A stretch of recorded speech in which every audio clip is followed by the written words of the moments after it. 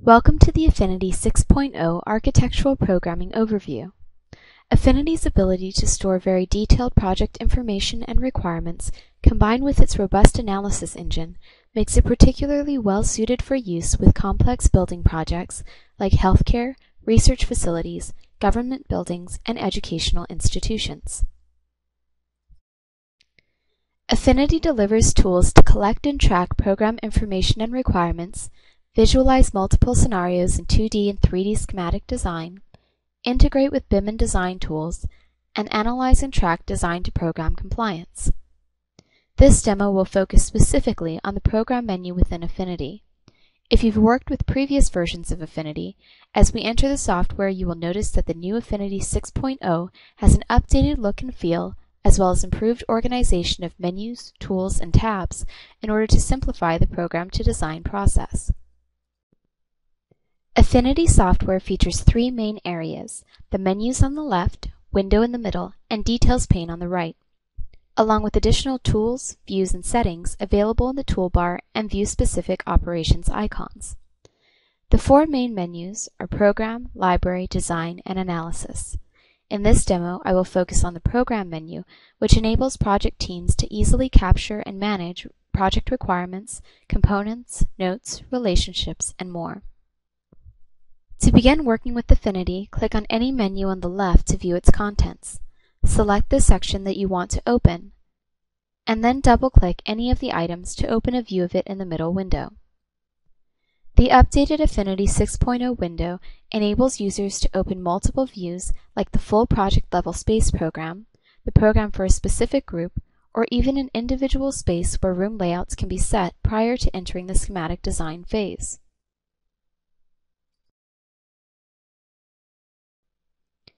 I can use the view-specific icons to zoom into the space and then right-click to add objects. Any objects added in this view will also create a list of items in the Components tab in the Details pane. Once the room layout is set, it will be visible when you drag and drop the space into the schematic design views. You can resize, rotate, and move objects in this view until you have the desired room layout.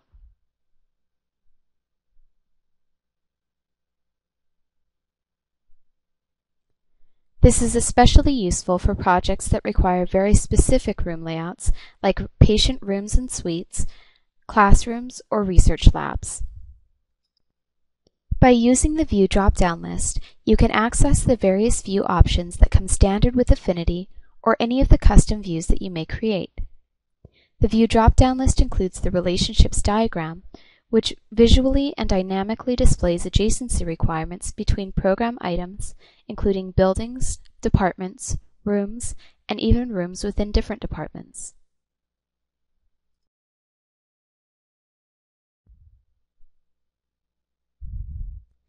You can focus in or out using these icons, which will display the different levels of the project. The top level is the highest level in your program, which may be your building or department.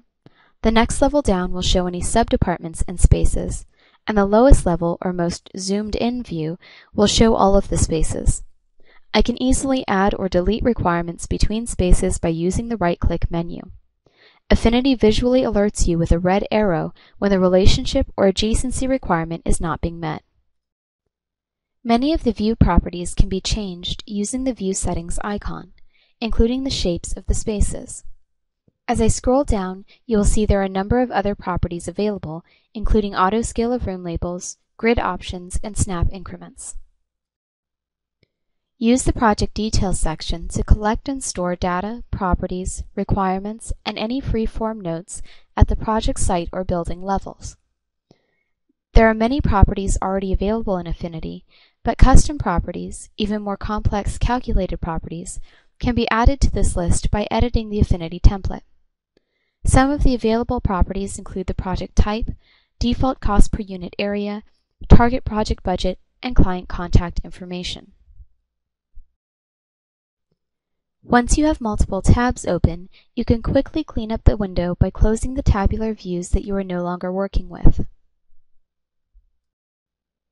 Affinity's programming tools enable project teams to capture a wide range of program data and requirements from clients and owners through several methods. Direct entry into the Affinity Space program, as I will demonstrate, import from a CSV file, or input from Affinity Flash-based questionnaires. The flexibility that Affinity delivers in the program phase ensures that new Affinity clients will experience minimal rework when transferring project data from existing spreadsheets to Affinity for the first time. It also enables project teams to electronically gather data from clients and owners and quickly add it to a new or existing Affinity project file. Program data can be added, deleted, or changed at any point in the project. You can customize any space program view by adding or removing columns via the right-click menu and rearranging and resizing them. If you want to save the views and columns, you may add it as a new view in the View drop-down list using the Add View icon.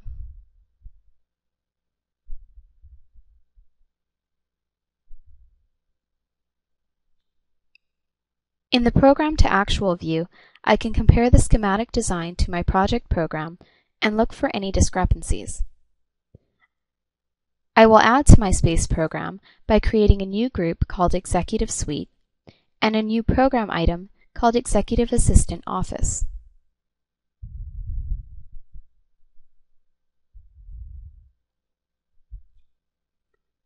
The office will have a target requirement of three rooms at 110 square feet under target, which is like phase 1, and four rooms at the same square footage under future, which is like phase 2. The current columns are showing the total, which combines my target and future phases. I want to see the phases individually, so I right-click to add those columns. Now you can see my target requirement, future requirement, and the actual. An actual quantity of zero means that this space has not been placed in the schematic design layout yet.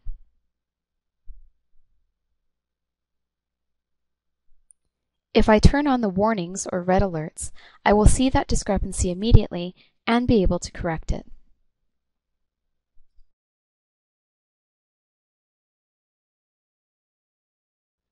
All of the information in the Program menu can be easily reported on in real time.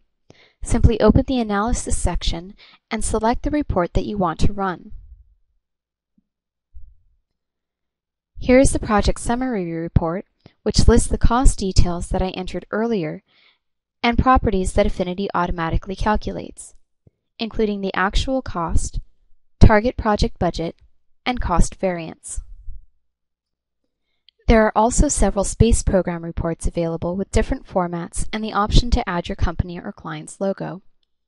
All of these reports are fully customizable, and this list can be added to by using the report editor.